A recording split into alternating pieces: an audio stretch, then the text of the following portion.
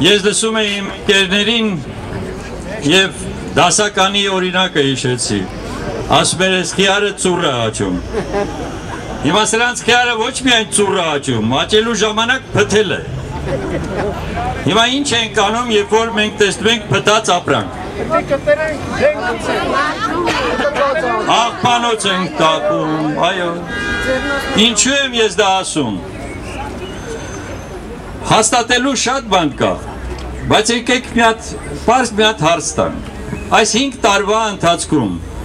այս իշխանությունը Նիկոլ Փաշինյանի գլխավորությամբ ինչ հաջողություն է բերել մեր ժողովրդին, որի համար մենք նրան շնորհակալ լինենք։ Տեսեք, որ օրինակն եմ ես ուզում ձեզ բերեմ։ Ձեզ հետարկում է, թե ձեր հարևանը խելոք է, թե անխելք է, ազնիվ է, թե ազնիվ չի, ընդամեն այնքանով, որ տեսնում եք ով է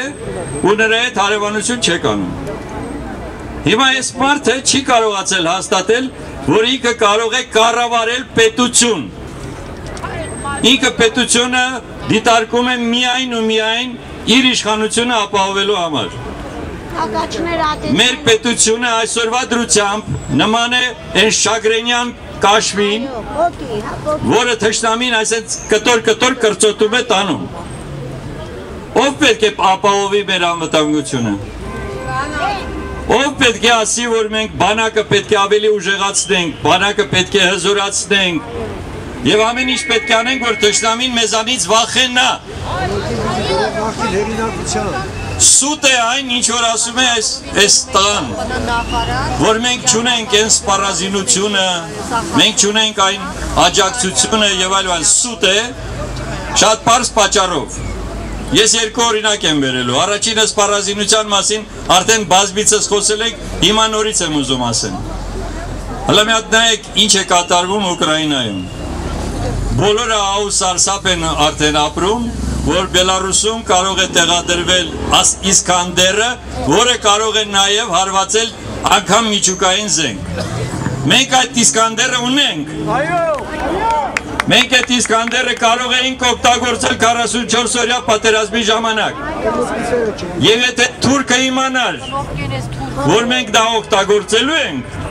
նա երբևիցե այսպիսի արարքի չէր գնալու։ Այո։ Նա շատ լավ հասկանում էր, որ եթե մենք հարվածենք, հարվածելու ենք բոլոր իր ամենակարևոր օբյեկտների վրա։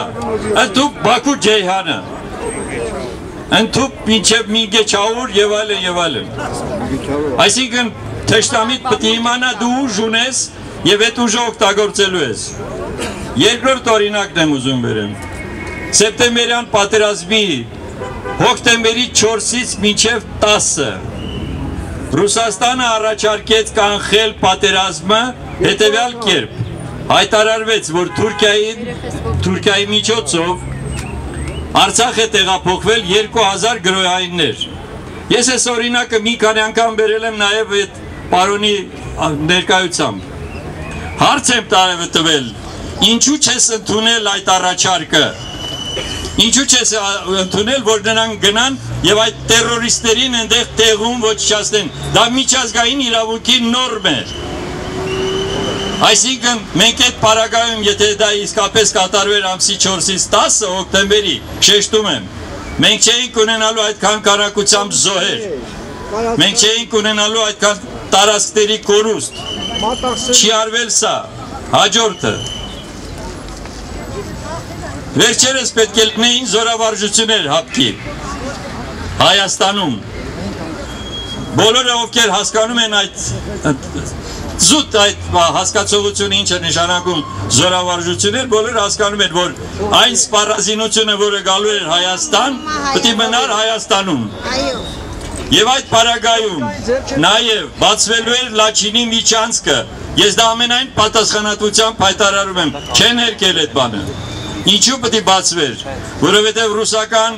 խաղապահ ուժերի այն տարածքը, որը իրենք են տնորինում, մտնելու էր զորավարժությունների այդ շրջանակի մեջ։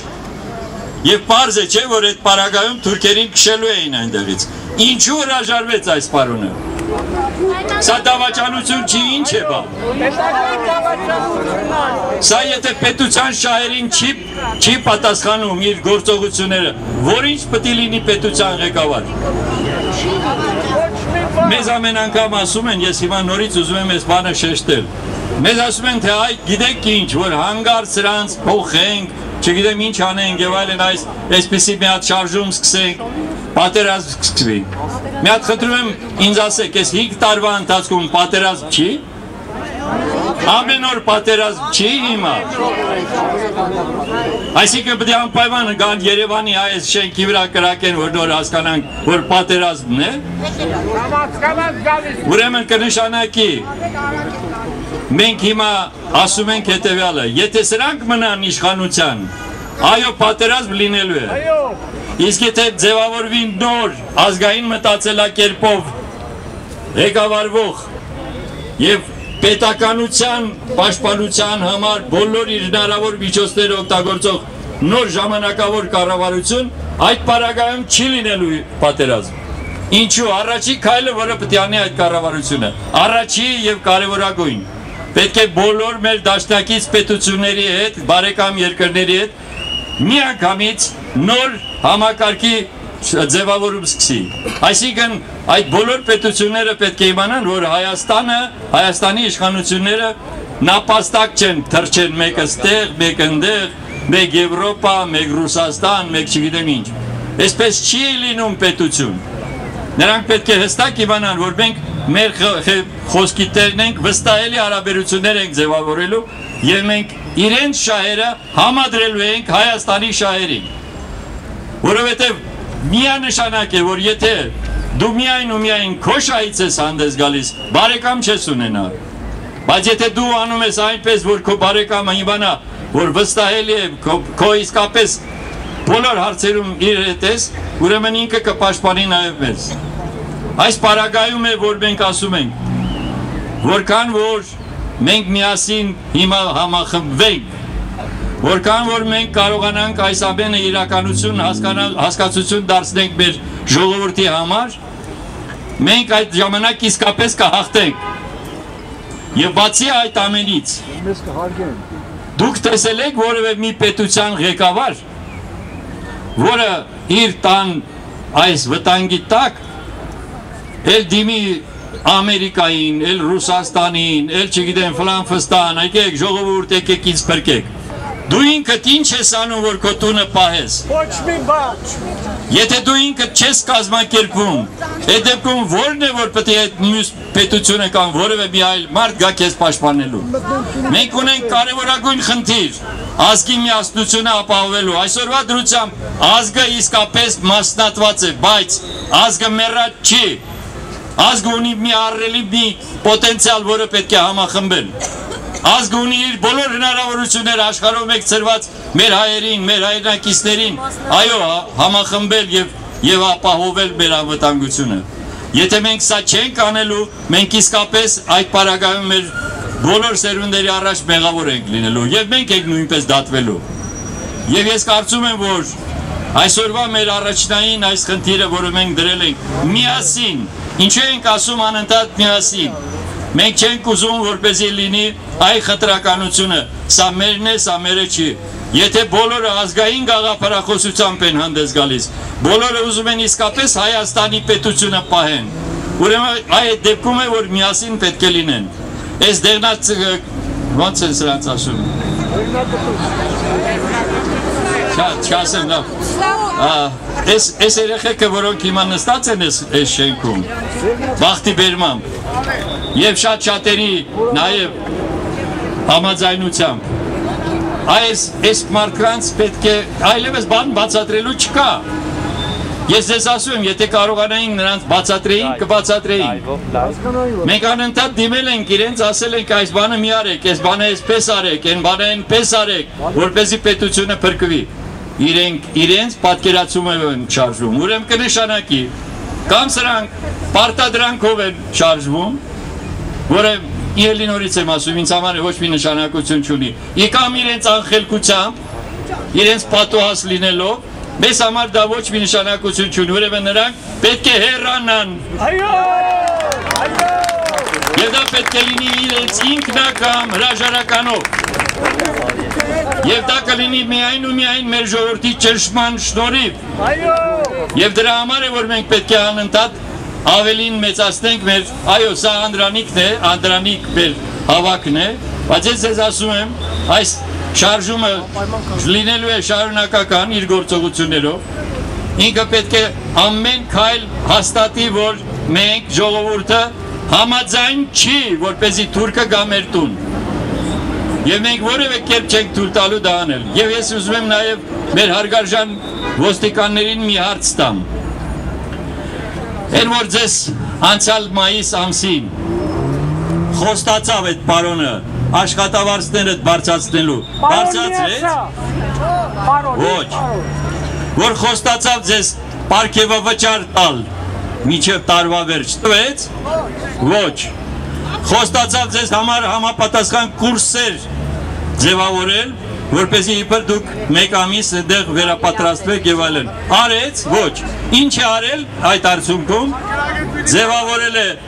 այդ 2000-անոց, ինչ ասեց արդեն պարոն Պետրոսյանը։ 2000-անոց բանակ է ձևավորում գվարդիա անունով, որոնք բոլորովին միայն ու միայն այդ անձին պետք է ենթակա լինեն եւ անեն այն ինչ որ ինքն է պահանջում։ Ուրեմն կնշանակի բոլորը պետք է հասկանան դուք առաջին հերթին քաղաքացի եք Հայաստանի Հանրապետության։ Եվ այդ Հայաստանի Հանրապետության քաղաքացին պետք է առաջին հերթին պաշտպանի իր պետությունը։ Ես հիմա ընդամենը դիմելով ձեզ բոլորիդ ասում եմ հետևյալը։ Պատրաստ եք պայքարի։ Հանուն մեր հանրապետության, հանուն մեր ազգի, հանուն մեր երեխաների ապագայի պայքար եւ չենք չենք կանգառնում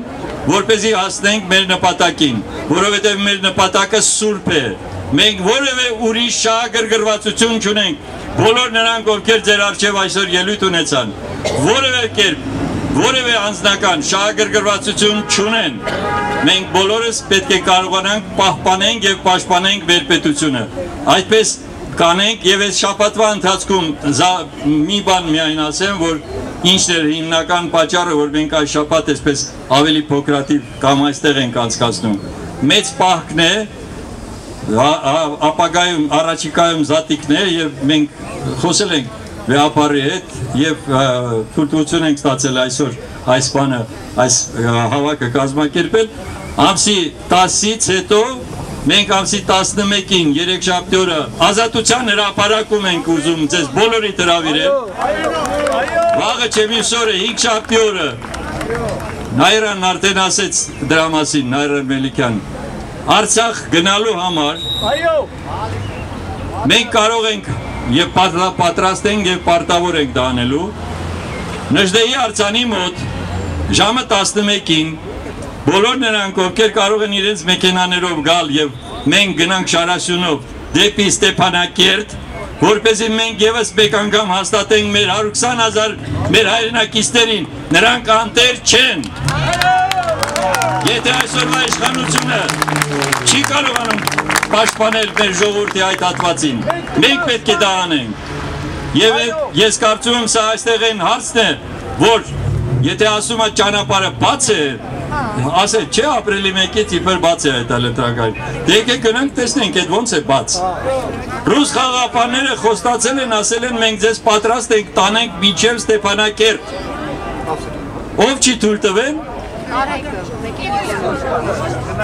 Չի թույլ տվել նա, որ հրաման է կատարել այդ անձի։ Եվ եւ այս պարագայում մենք հիմա պետք է հաստատենք, որ մենք մեր հայրենակիցների կողքին ենք եւ պաշտպանելու ենք։ Արցախը պետք է ճանաչվի անկախ հանրապետություն, հանուն նրա, որպեսզի նա ավելի ամրապնդվի։ Եվ այս պարագայում բոլորս միասին այս գործը պետք է իրականացնենք։ Հիմա ձեզ կներկայացվի նաև մեր հայտարարությունը դիմումը։ Շնորհակալ եմ։ Հանուն մեզ, հանուն մեր պետության։